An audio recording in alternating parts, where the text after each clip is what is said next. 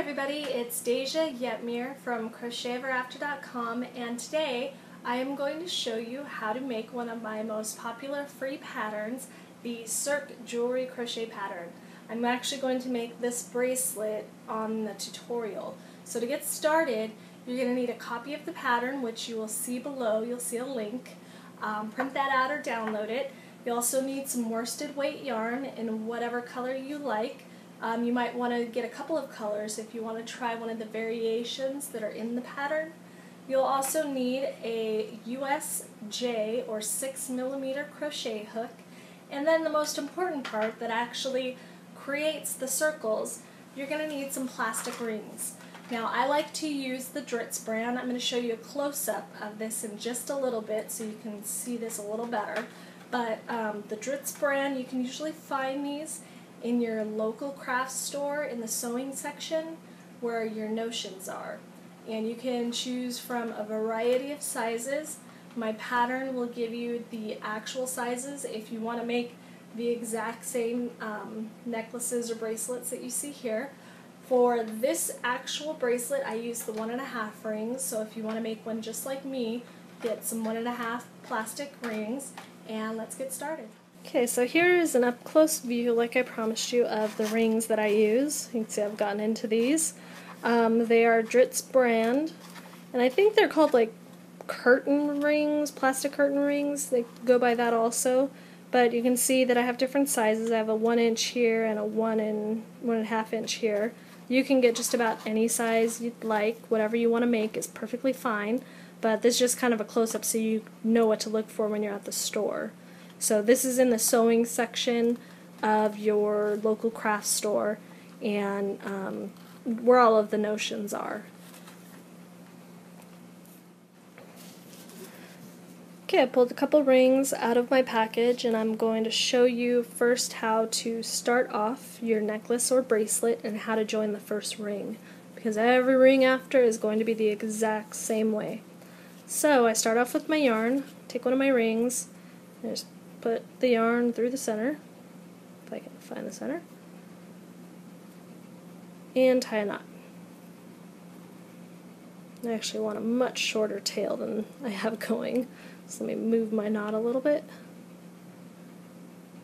You don't need a long tail because you're going to crochet it into your your um, necklace or bracelet, so you can just pull it to make it nice and short. So that's about all you need is like an inch, inch and a half. Actually, this ring is an inch and a half, so maybe three quarters of an inch. And then to begin, it's almost like a magic adjustable loop. You're going to reach through the center of your ring, grab your yarn and pull it through. Then yarn over and just slip stitch it to get a nice base going. And you're trapping your tail in that slip stitch. Now the pattern says I'm going to do 12 single crochets and that's going to cover half of my ring. So to do those I go through the center of the ring again, grab my yarn by laying over. It's not really a full yarn over, I always call these a layover because it just lays over the top. Catch it with my hook and pull it up, keep my tail out of my way, yarn over and pull through. Now what you're going to do instead of regular crochet where I would just leave this as it is to keep my stitches nice and bouncy is I'm going to tighten this down. I'm going to bring these all together, pull on my tail, tighten everything down because I want this ring completely covered. I don't want to be able to see the white through it. So to do that, do another single crochet. I'm going to tighten it down as much as I can and squish it all together. So I'm going to do that after each stitch. It's a little extra work, but it gives it a much nicer edge and it keeps everything covered. So I'm at four single crochets. And as you can see, as I'm working, I'm trapping my tail so that I don't have to weave it in later because it's a little difficult with how tight my stitches are. So I'm only going to have to weave in one tail at the very end. Just keep single crocheting and tightening it down. And you can add more than 12 or less than 12 depending on the size of your ring. So if you're using rings that aren't um, indicated in my pattern, If you have big, ginormous, you know, you could do this to a whole bracelet. You could get a bangle bracelet and um, do the same thing, just single crochet around the entire thing. Because it doesn't really matter what size it is because the yarn's going to go around it. You're just going to have the single crochet V's around the outside or you can move them around and make a, you know, a twisty. You can make a spiral with them if you wanted to. You can turn them however you like. Let me see how many I have so far. One, two, three, four, five, six, seven, eight. So let me do four more. Then we'll go on to joining the next ring. And kind of tug straight down to get it tight and push it next to each other. Three and four. Okay, you see I have half of my ring done. And now I'm ready to join my next ring. Notice I'm not going around the whole ring. That's the whole point of the no joins and no weaving in because I'm going to join it at the very end of adding all my rings. Now this join can also be um, changed. If you know how to crochet with beads, you can add a bead right here in between your next loop. You know, if you have beads um, on your yarn, you can push one down and sing and do a chain and have your bead right here in the chain and then add your next one. And then you have a bead in between each ring, which can be very cool. Um, what I do for this pattern is I chain two. So I chained one already and I chain another one. And that gives a nice, um, a nice little space between the rings. You can do no chains, you can do one chain, you can do five chains. You know, it, it's endless what you can do with this technique once you learn it. And feel free to do whatever you like. Whatever you see in my patterns, you can replicate, make your own, sell anything you make from this stuff. You can sell absolutely everything. Go to a craft fair and sell all these goodies. It's all good. I allow all of it to be sold. Just don't sell my pattern, please. So now we're going to join our next ring. Take your ring, just like the magic adjustable loop, reach through the center, grab your loop, bring it up, and you're actually just going to do your first single crochet. So yarn over and pull. And you'll see this one gets like really loose because you're just joining. So just keep tightening it down and keep it close to your chain. So there's the first one. So I'm going to do another 12 in this one like I did with the first and I'm going to keep joining rings the same way. I do 12 single crochets and then I chain two or add a bead or chain one or whatever it is that you want to do to make these special and make these your own. It's all up to you.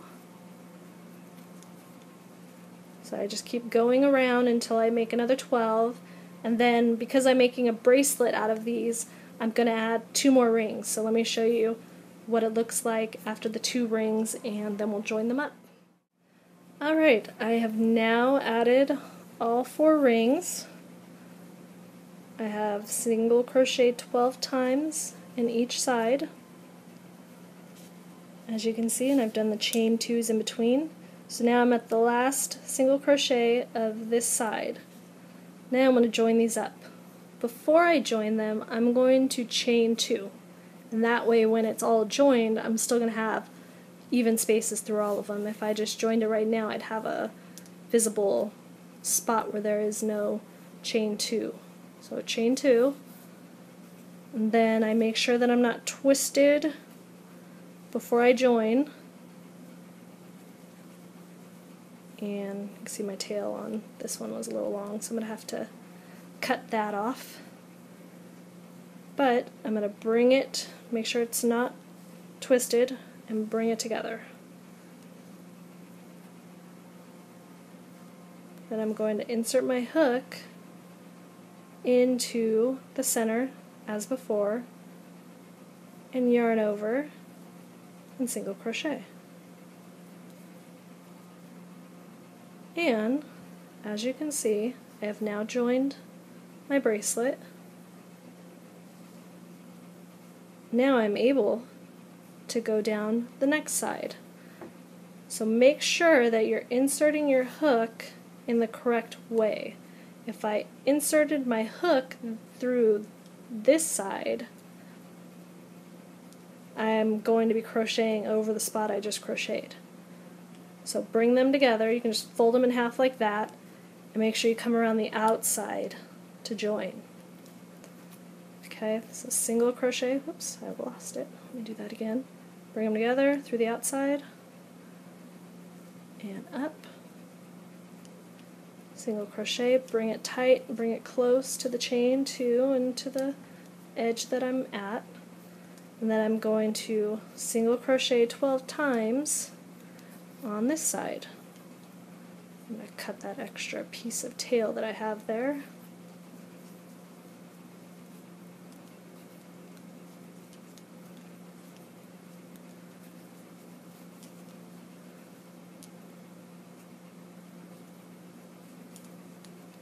And if you aren't paying attention to how many you're making, like me, you can either keep going until, you know, you get to the end and you feel you have enough covering everything, or just go back to where you joined. Here's my chain two, and then I can see that I have one, two, three, four, five, six, seven. So I need five more.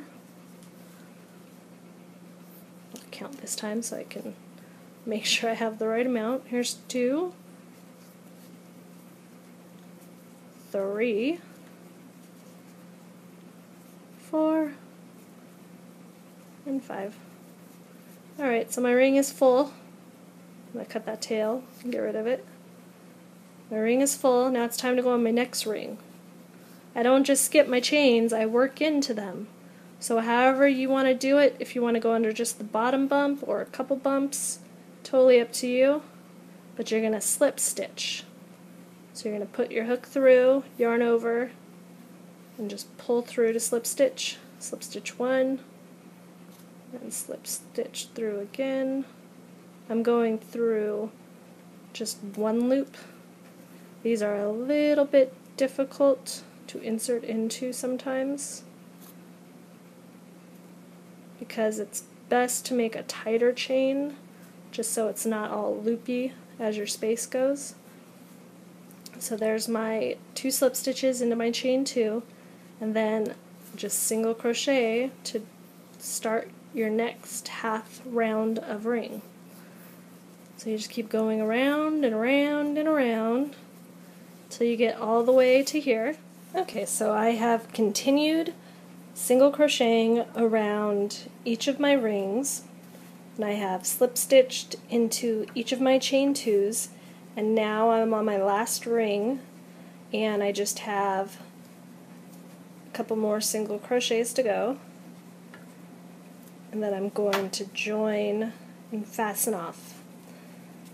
So there are my last two. I have enough to cover my ring. Next I'm going to slip stitch into my chain two, make sure I'm not twisted when I do that.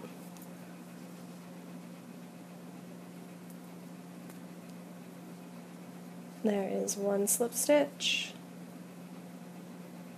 The second one is always the more difficult one to get into because it kind of tightens down once you join your ring. And then what I'm going to do is I'm going to fasten off by yarning over, pulling that through and tightening it down. I'm just going to pull a little length of it, grab my scissors.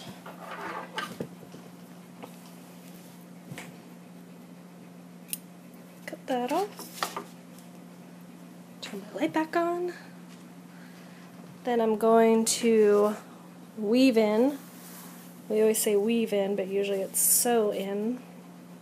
I just pulled the extra tail out. So pull that down. I still need to cut this off. But I'm going to thread my yarn needle, tapestry needle, whatever you have on hand. I like these with the little bent tip, and I like metal so it doesn't bend as much, but I like the bent tip because it's really easy to get it to go into the stitch and out of the stitch because it's curved.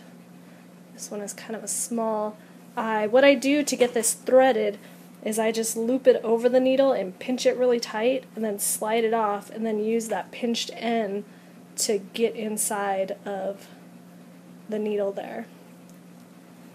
And then I'm going to just sew my end in, make sure my whole thing is nice and straight. And I'm going to sew it into that first stitch that I made on the very first round. You can see that joins up nice. And then to get the end, I'm going to keep on kind of sewing my end in around here to get it nice and tight.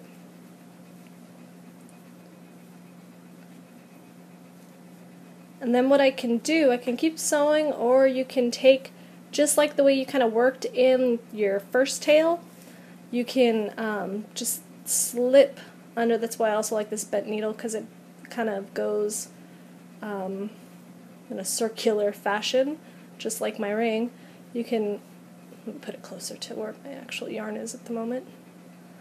You can kind of push it through the center to hide it.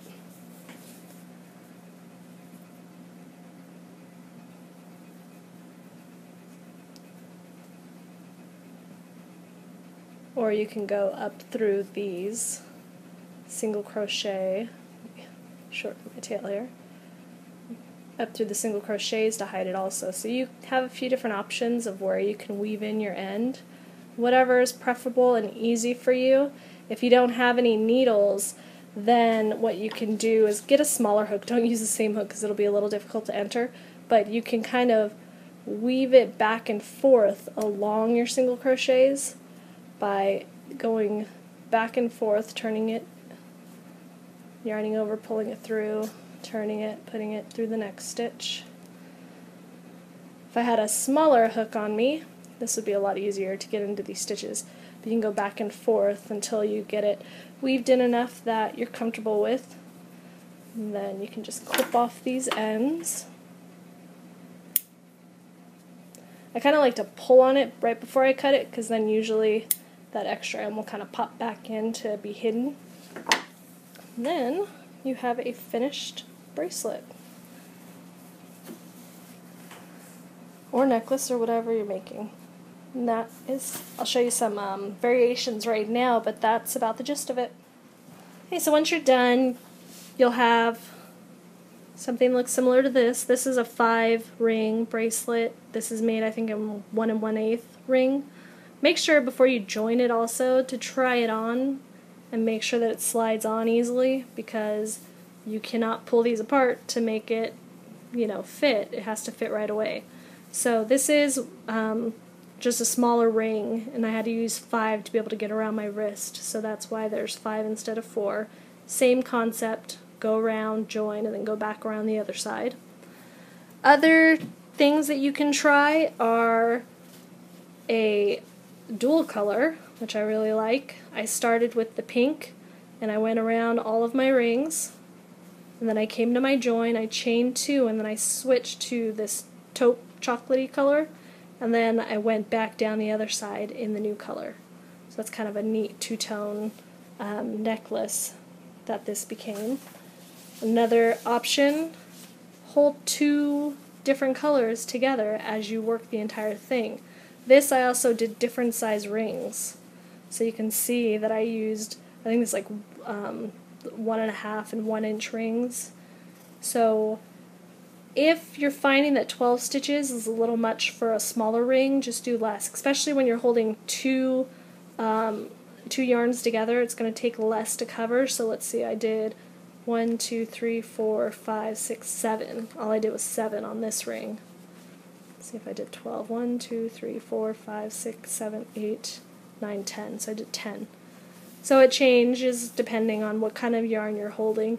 As long as you get enough to cover your ring and it covers half the side, then that's all you need to do.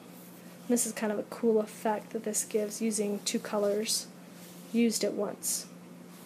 So the options are limitless. Um, you could even just do a couple rings and then chain a big long chain to put around your neck, or um, you know, do a, a chain on one on both sides and tie it around your neck. You know, there's lots of different ways that you can do this. So have fun with it. Um, leave me comments if anything's unclear, and I'll try to help you out. And have a great time.